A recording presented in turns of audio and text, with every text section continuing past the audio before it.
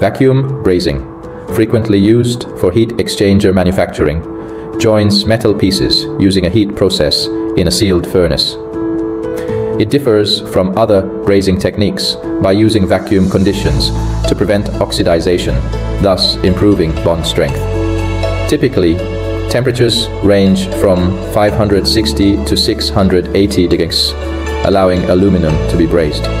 When making a cooling plate, the brazing layer melts, joining the slot and cover plates to withstand pressures up to 100 bars. So in conclusion, the advantages of vacuum brazing are much higher bond strength, 60 to 100 bars, good capability in bonding thicker plates, flux-free, so better mill finish surface. XD Thermal has four vacuum brazing furnaces with a capacity of 24,000 pieces per month. With widths of 50 to 1900 millimeter and lengths of 150 to 2900 millimeter, XD Thermal is well suited for the manufacture of battery cooling panels for heavy-duty vehicles, marine and other applications.